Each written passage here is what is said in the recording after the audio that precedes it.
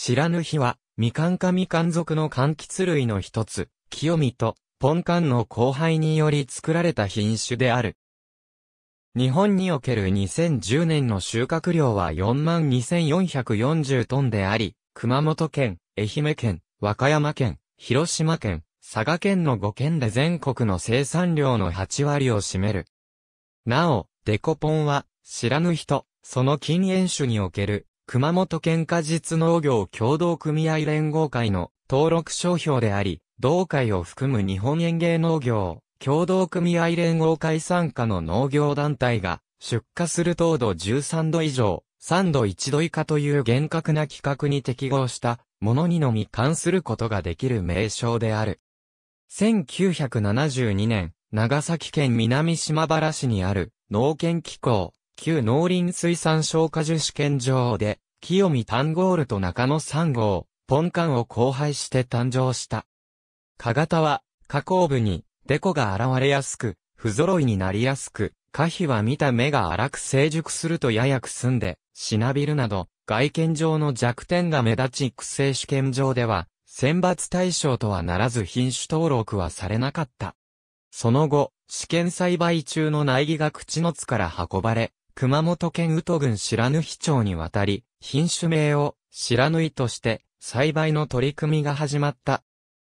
古くから甘夏の産地として知られていた白縫町及び、周辺地域では1975年頃から甘夏に代わる柑橘を模索していたという事情も重なって、白縫海沿岸の宇都半島、天草諸島、足北地方などを中心に広がり、その後、鹿児島県、愛媛県や広島県、佐賀県、和歌山県、静岡県等の全国へと普及していった。なお、同じものが、韓国のチェジュ島へ渡って、特産品となり、ハルラミネという名前で生産されている。また、アメリカのカリフォルニア州では、スモーシトラスやスモーマンダリーの名前で栽培されている。知らぬ日はそれまで首位だったイオカンを抜いて、万貫類で収穫量トップとなっている。熊本県が主産地として知られ、愛媛県、和歌山県、広島県、佐賀県がそれに次ぐ。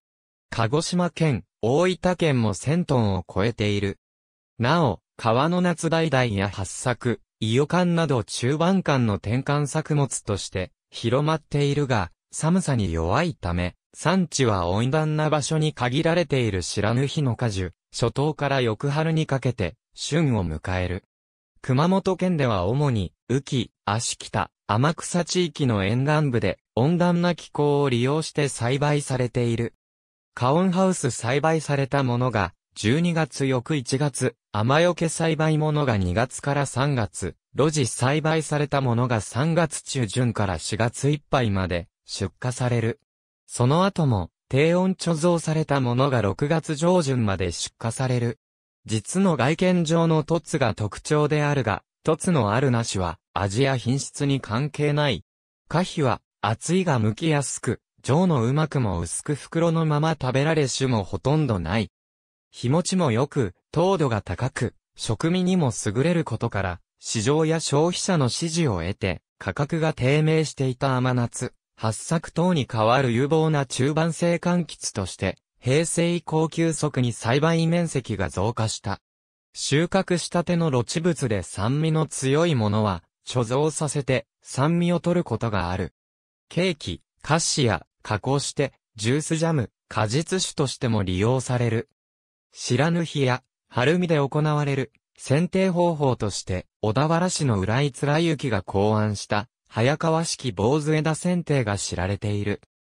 静止は、海進自然型を基本とするが、種子を途中で切り返し20から30センチメートルを坊主枝にすることにより、結果枝を除去し、発育枝を発生させ樹勢の低下を防ぐのと同時に、亜種子状の2年枝を予備枝に設定し樹勢維持を図る。神奈川県で普及をしている。知らぬ日の魂ハイミ賞の中から、選抜育成された品種に、秋の輝き、声の豊か、佐賀菓子34号、真鍋白縫がある。また、白縫の枝代わりとして、大正期が変異株として、火の香り、愛の香がある。ありがとうございます。